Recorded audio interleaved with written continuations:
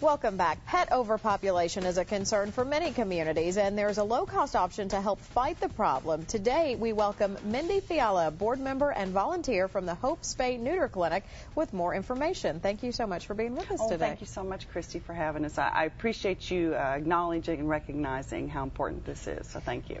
Well, of course, with our, our we have weekly pet segments with a lot of the um, shelters in the area, and um, one way to avoid the animals that may end up in some of the shelters is to make sure that the existing pets are spayed or neutered. And tell us how you guys are involved in, in that mission. Um, spay and neuter um, is just really the only answer. Uh, working with my local humane society in Woodford County for a decade now, learning from them how the importance of spaying and neuter is, is controlling the situation uh, it, it just made us all aware how important it is and something we wanted to offer to our community and other communities as well.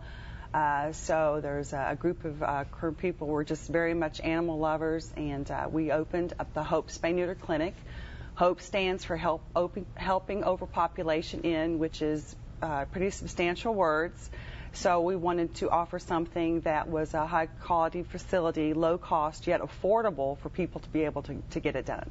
And you have a, a, vet that you regularly work with? Yes, we're very blessed. Dr. Lori Fuller is our onboard vet. Uh, she has provided, um, in her career, over 20,000 spay and neuters. It's her specialty. It's what she loves. She's just as compassionate about it as we are. Um, our first opening uh, was September 27th uh, of last year. Uh, we're opened on Tuesdays, and we've seen probably probably 16 different counties come to our facility, and we've provided in that short time 750 spay and neuters, which to us is um, you know thousands. Yeah, wow. Thousands. And if someone uh, at home has a pet and they're interested in the services, um, tell us a little bit about how that works.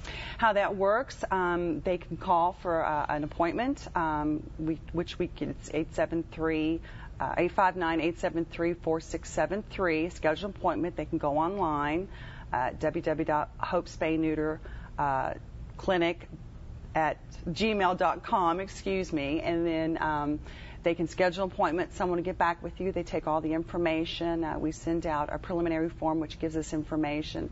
They bring their pet in that Tuesday morning between 7:30 and 9. We get them all registered, checked in. Uh, we provide their surgeries for the day. They recover for the day.